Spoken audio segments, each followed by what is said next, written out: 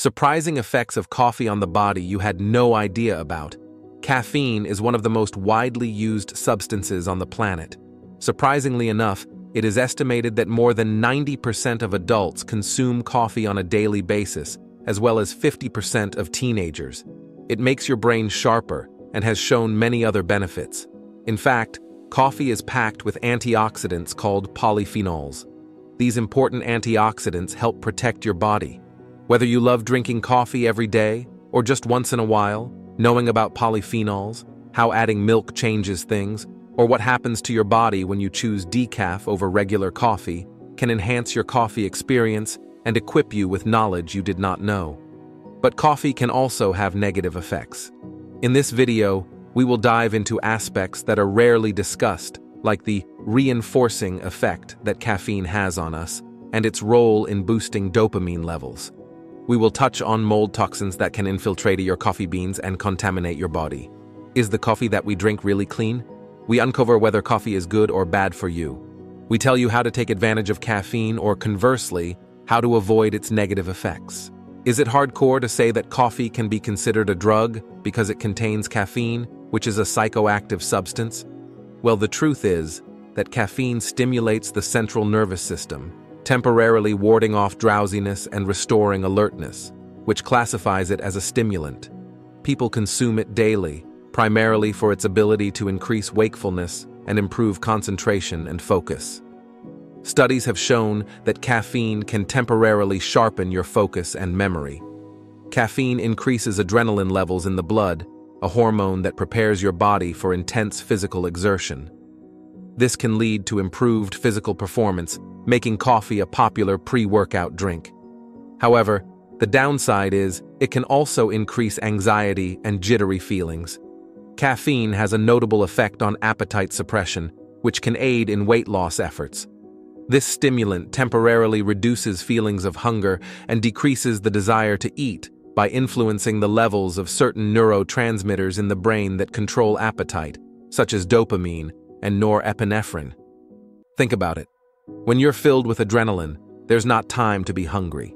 Also, caffeine increases thermogenesis, the body's process of generating heat and energy from digesting food, which can lead to burning more calories even when at rest. The verdict? Through these mechanisms, caffeine can play a supportive role in weight management by both curbing appetite and burning more calories even at rest. Research suggests that coffee drinkers may have a lower risk of developing neurological diseases, such as Parkinson's and Alzheimer's disease, the compounds in coffee may have neuroprotective effects for the brain. Coffee consumption has been linked to a lower risk of liver diseases, including liver cirrhosis and liver cancer. The exact mechanisms are not fully understood, but we think it may involve coffee's effects on enzymes that protect the liver. Next on our list, mixing milk into coffee. It's understood that milk can alter the body's ability to benefit from coffee's polyphenols, these antioxidants are crucial for protecting our bodies from damage. However, the proteins and other components in milk may bind with these polyphenols, diminishing their effectiveness and making it more difficult for our bodies to absorb them. Studies point out that milk's casein protein, in particular, tends to stick to polyphenols. Such interactions might lessen some of the health perks coffee's polyphenols offer.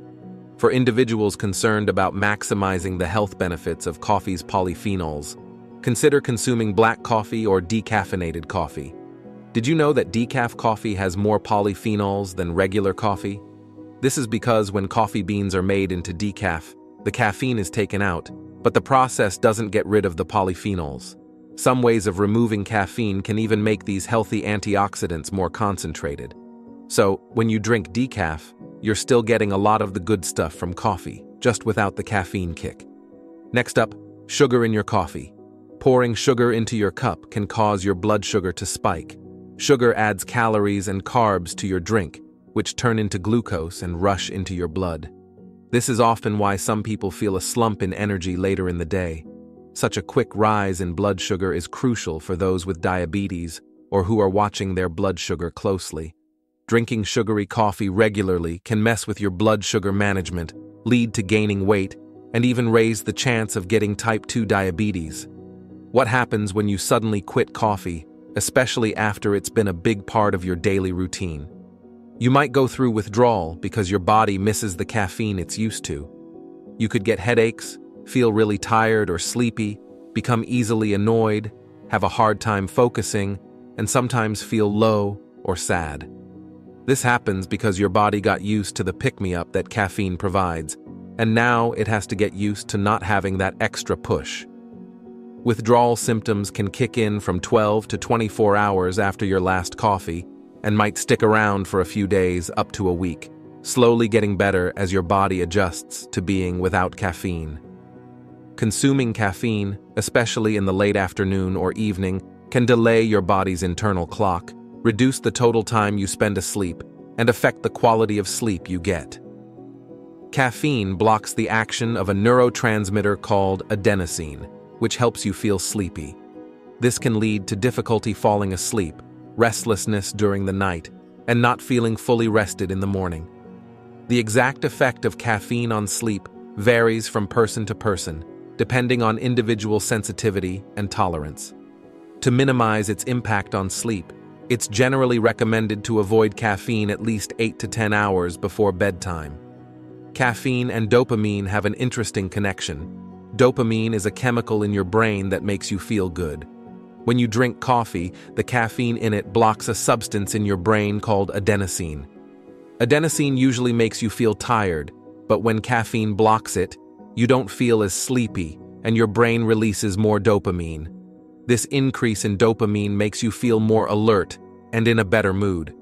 Basically, caffeine indirectly causes your brain to produce more dopamine, which is why after a cup of coffee, you might feel more awake, happier, and motivated.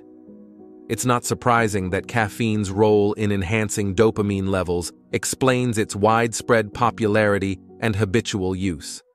The fact that caffeine boosts dopamine levels sheds light on why it's so widely enjoyed and regularly consumed.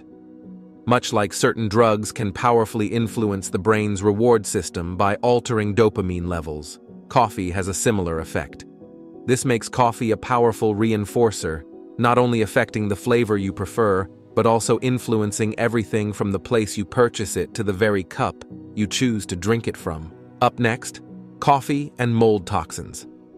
Coffee is produced in a wide range of qualities, from high-grade beans, hand-picked in the best climates, to lower-grade options that may not be processed as carefully. During the growing, harvesting, and processing stages, coffee beans can be exposed to moisture, leading to the growth of mold. These molds can produce toxins, such as ochratoxin A, which can remain in the beans even after roasting and brewing. The presence of these mold toxins can vary greatly depending on the quality of the coffee and the conditions under which it was produced and stored. To minimize the risk of exposure to mold toxins, opt for a clean cup of coffee. How quickly can you eliminate coffee from your system?